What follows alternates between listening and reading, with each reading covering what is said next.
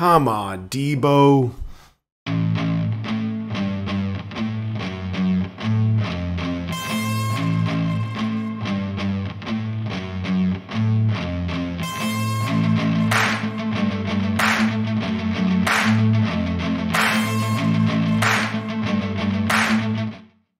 Everybody, welcome back to another episode of Shifty's 49ers Talk. It's your boy Shifty coming at you with another one. Today, of course, we are going to be talking about the massive, massive news with regards to the 49ers that all pro wide back Deebo Samuel has officially requested a trade away from the San Francisco 49ers, which is just so hard to believe man, I can't believe I'm saying those words. I'm absolutely shocked, stunned, and certainly not in a good way. Um, to me, Deebo Samuel is arguably the most valuable offensive player in the entire National Football League, and for sure on the 49ers.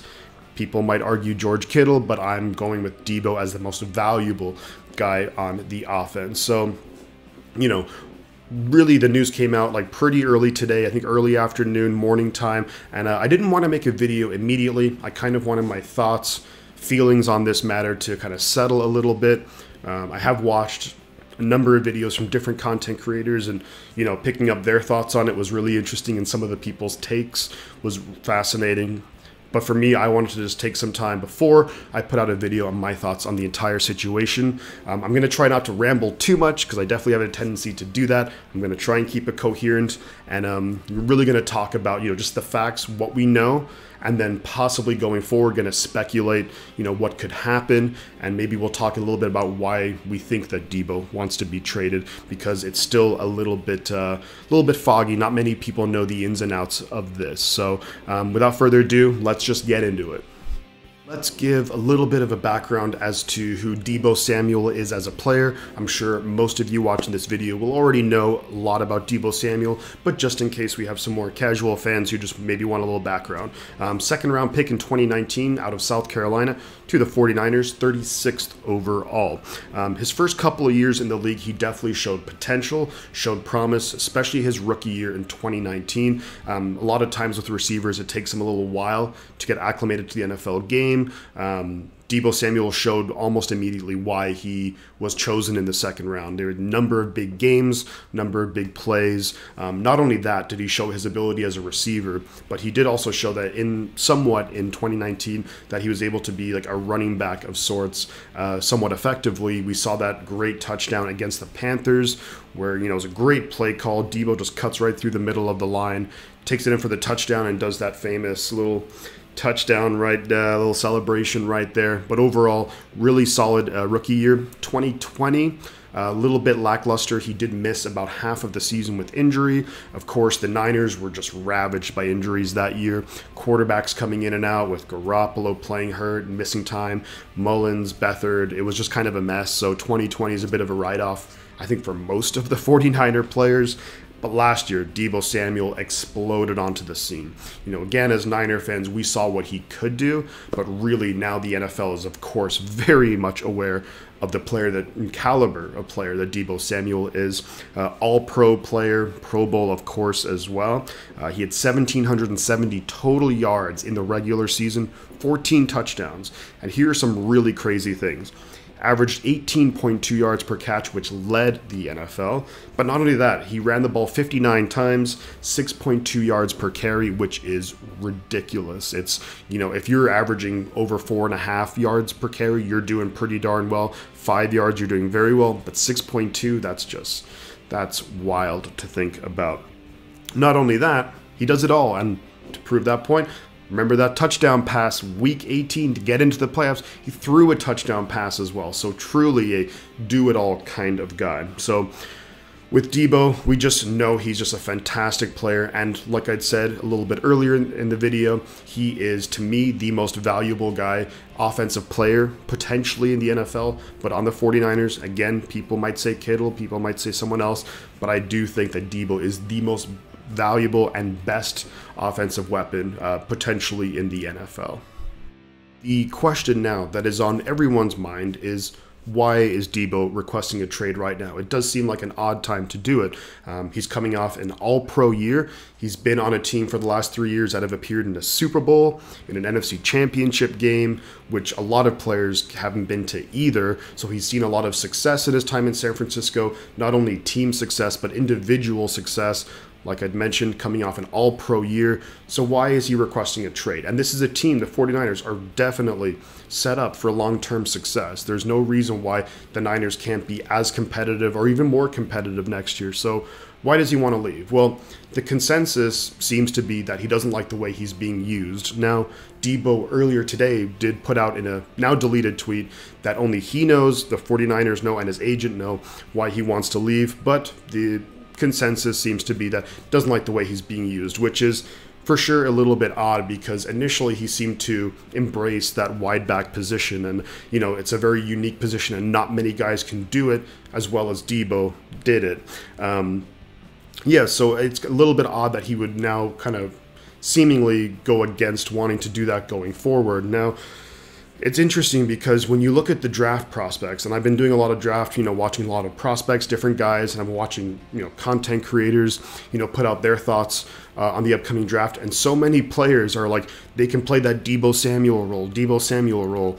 Um, so it's interesting now that he's like, I don't want to be that guy. Um, the only thing, situation like this that I can remember where it seems like a player, you know, and potentially their peak is saying, I don't want to play that way, um, is actually also somewhat related to the Shanahans, and that would be RG3, where he was basically saying, I'm not going to be a running quarterback.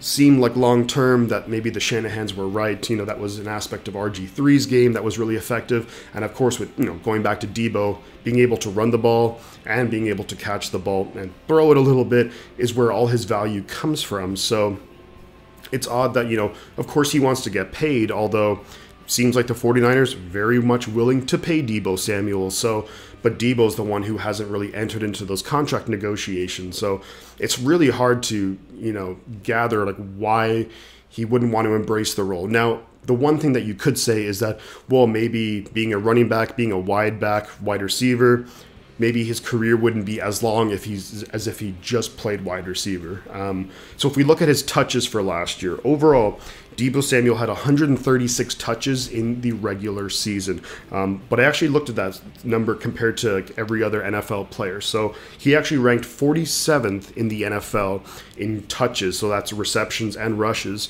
in the NFL. Um, Overall, number one was Najee Harris, who had 381 touches. So we're talking about 250 touches more than what Deebo had. Even on the 49ers, Elijah Mitchell, who only played in 11 games, he had 226 touches, which is 90 touches more than Deebo Samuel. So, although Deebo's getting quite a lot of touches, actually, when you take out uh, running backs out of the equation, he was number two in the NFL in touches behind Cooper Kupp. So when you factor in wide receivers, running uh, tight ends, and quarterbacks, Deebo was number two. A little bit odd though, because you would think he knows how good he is, and he is incredibly talented. So you think that he would want the ball more often than not. Um, and he, we famously saw in that playoff game at the Cowboys, where he's like, "Just give me the ball." The Niners give him the ball, he scores a touchdown. Um, so I don't know if usage is really. I mean, clearly he. That's what we're kind of hearing, but I just don't know. Maybe there's something else going on, but it's really weird because there's never been an ounce of uh, reports or anything that Deebo Samuel hasn't got along with the coaching staff. Um, there hasn't been really anything uh, like drama or anything like that going on in the 49ers organization of lately. I mean, we signed George Kittle to a long term deal, we signed Fred Warner to a long term deal, we signed Trent Williams to a long term deal, Juszczyk. All these guys who, if the culture in San Francisco wasn't right, they wouldn't come back. Um, not only that, I mean, you look at a player that we did trade away who's a phenomenal player, DeForest Buckner. He didn't want to be traded. He wanted to stay in San Francisco. Just, you know, with cap space and all that stuff, we couldn't make it work look one step further too, even with the coaching staff, DeMeco Ryans, he could have easily went to a second head coaching interview with the Minnesota Vikings. He says, "No, I'm not going to do that. I'm going to stay in San Francisco for at least one more year. I want to come back to the 49ers." And, you know, some of it was also to improve his own coaching ability, I think, but you know, why would he come back to a situation if the culture wasn't right? So, it's just really, really bizarre. I don't get it. Um, please leave comments in the comment section about what your thoughts on this are because I just can't wrap my head around it. The Niners seemingly want to pay him a lot of money.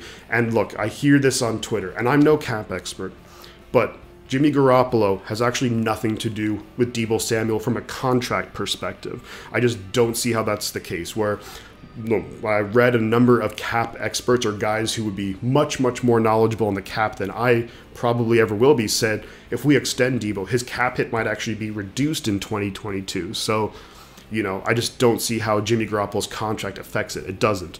Um, now, maybe people throw out the argument where Deebo maybe likes playing with Garoppolo. Maybe he has concerns about the development of Trey Lance, which is possible. But Deebo Samuel had some of his biggest plays from Trey Lance. When we look at when Trey Lance stepped in against the Seahawks, you know, of course, Deebo you know, found himself wide open. Trey Lance hit him, huge touchdown. We also look at the play, of course, against the Texans, where you know the play action from Trey Lance just throws a dart like 40, 50 yards down the field, and Deebo runs it in for a touchdown. So, I mean, maybe he does have concerns behind the scenes, and he doesn't want to say that. Um, but I just don't know if that's the case because he had some phenomenal games with Trey Lance at quarterback. So it's really, really bizarre. Um, yeah, I'd love to hear your guys' thoughts on this whole situation. Uh, I don't know. Um, yeah, I just don't necessarily buy the whole usage thing because he's not being used nearly as much as other guys. Um, 47th in the NFL. So I don't know. Um, what I am going to do now, though, is next I'm going to move on to if we do trade Deebo, what might a trade look like? With who? What are we getting in return? So let's get into that. So, the trade possibilities. Where could Deebo Samuel get traded to? Um, here's the thing he's still on his rookie deal, so he definitely has no no trade clause, so he can't really pick and choose where he goes to. So it's an interesting play here as well when you think about it from Deebo that if we sent him off to, and you know, no disrespect to these franchises, but the Jets or the Texans, it's like you're going from a competing team in the Super Bowl, NFC Championship game to teams that in the recent years have struggled a lot. Um, but what could a trade look like, and who could we trade him to? Now, I think ideally we would not trade him within the NFC, um, especially I see you know teams like the Packers and the Cowboys are interested. I mean why would we trade him there unless they give us a ridiculous offer? Why would we trade him there? Because they're teams that are incredibly competitive, who where he would thrive, and of course that could come at the expense of the 49ers. So I think the AFC is a much more likely destination.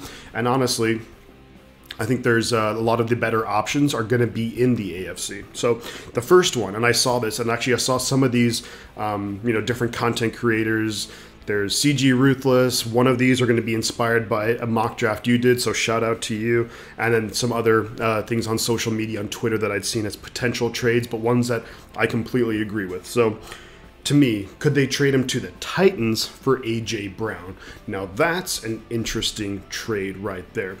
If I'm being 100% honest and transparent, I remember watching that 2019 draft in the second round I wanted us to draft AJ Brown. We drafted Deebo, and now I think for this offense, what we do, Deebo is probably maybe a little bit of a better fit, but I still really like AJ Brown. So that's a trade that I could absolutely get on board with.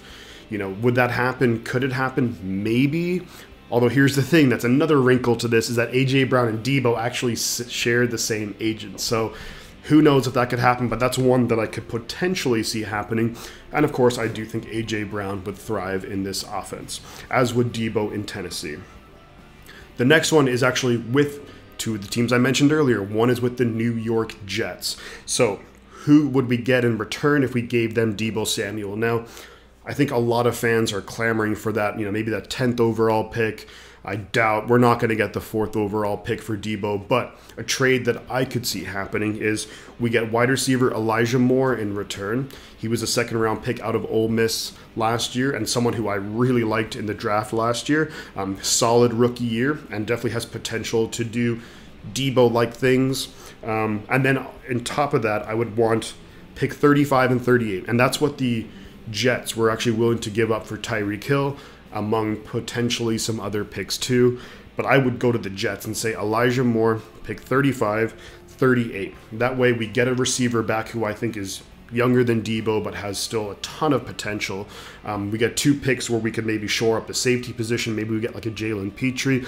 Maybe we get another wide receiver. Christian Watson could be right there. Um, one of my favorite guys in the draft is Treylon Burks, who would probably be gone at this point, but maybe we package those picks and move up for a wide receiver. Or else we go Jalen Pitre and we get Christian Watson and Elijah Moore.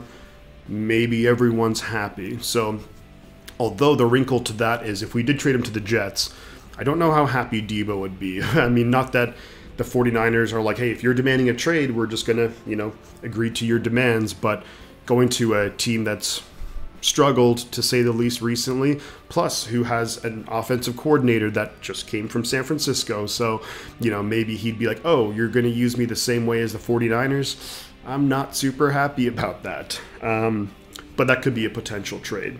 The last one, and this is the one that I saw my boy CG Ruthless put out there, was trading him to the Texans.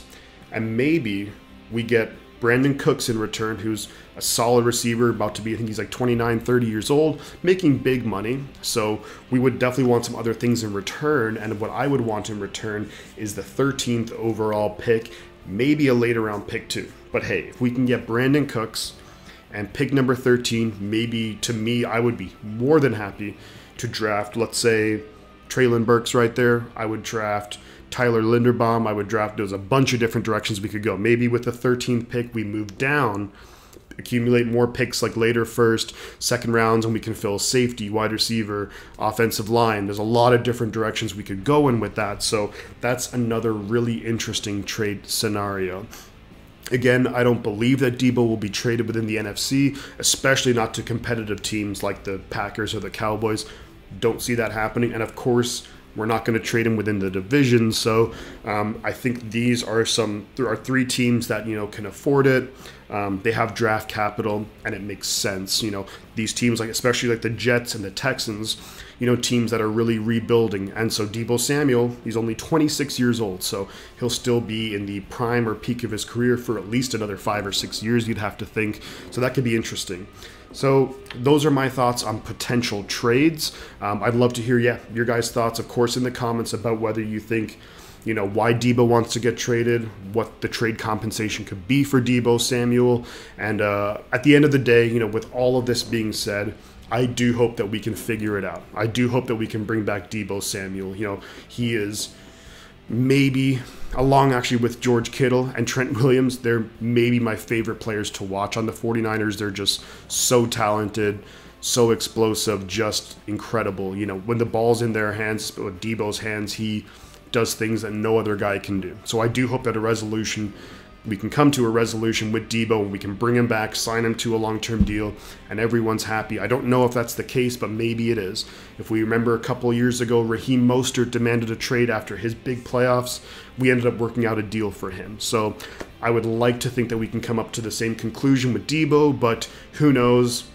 This NFL offseason has been absolutely wild. I mean, who would have thought that Wilson, Davante Adams, you know, Matt Ryan, all these guys getting traded, Tyreek Hill.